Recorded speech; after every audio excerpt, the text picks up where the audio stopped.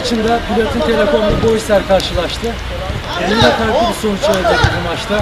Platin Telekom'un 14'e 3 gibi bir farklı skorla e, sahadan galip ayrıldı. Rakip de 10 kişi kaldı. Biraz daha maç gerildi. Yani geçelim. Fazla iyi açtı. Ben bu maçta sadece İsmail'e üzüldüm. Üşüdü. Evet. ıslandı. İsmail'e yazık. Arada bir top atmaları lazım. Ona göre rakip bekliyor. Kısa geçelim kardeşim. Abi geldik de işte maçta işte Futbolun içinde olan şeyler bunlar. Bundan sonra da olacaktır. Kimse garantisini veremez. Ya illa ki abi de yani ufak gollerin çok unutulması biraz yani büyük yarat yani. Normalde aslında çok unutulmalı bir şey yoktu ama sağlık olsun böyle oldu. Maç içinde oluyor böyle şeyler ama şimdi arkadaşlarla konuşuyoruz. Yani maçtan sonra her şey bitiyor bizim için. Biz de galibiyetimizden dolayı